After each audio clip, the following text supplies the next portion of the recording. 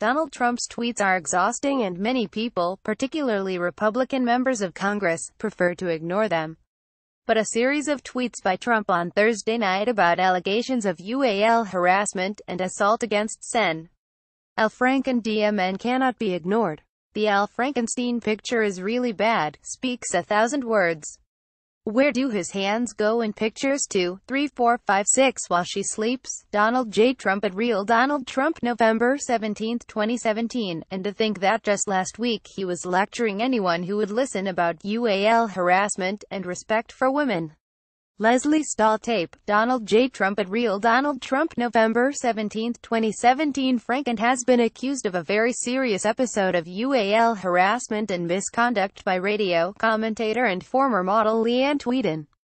Today, a short time after the news broke, Franken apologized for his behavior and said he supported an ethics investigation into the incident. At least 14 women, on the other hand, have accused Trump of UAL assault.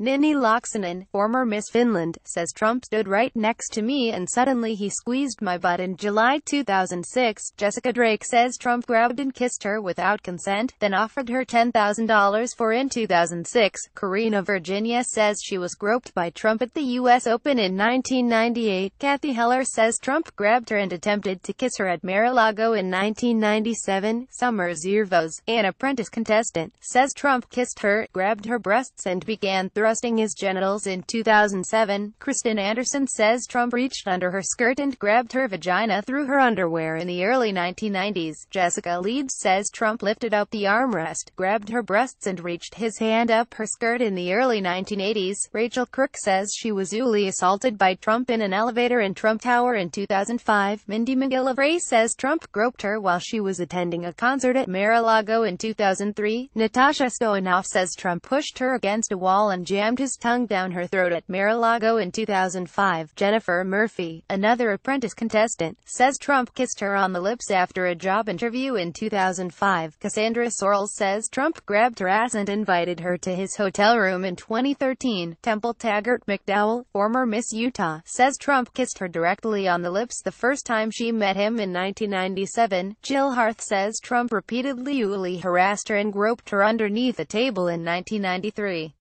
Trump has not acknowledged any of these incidents or apologized for his behavior. Instead, he threatened to sue them. All of these liars will be sued after the election is over, Trump said. He didn't sue any of the women. He suggested one of the women was definitely lying because she was not attractive enough for him to usually assault. And, of course, he was caught on tape bragging about the fact that he could get away with UAL assault because he was famous. All of this was big news prior to the election but faded to the background once Trump prevailed on Election Day. Republicans, even those who distanced themselves from Trump after the allegations first surfaced, fell back into line. Getting elected president, however, does not diminish the seriousness of 14 credible allegations of UAL assault. Now, Trump himself has opened the door to a new scrutiny of his conduct. He is attacking Franken while maintaining his support for Roy Moore, who has been accused of bully harassing and assaulting teen girls while he was a prosecutor in his 30s. We owe it to the 14 women who spoke publicly about their experiences with Trump, and others who have likely not come forward, to walk through the door.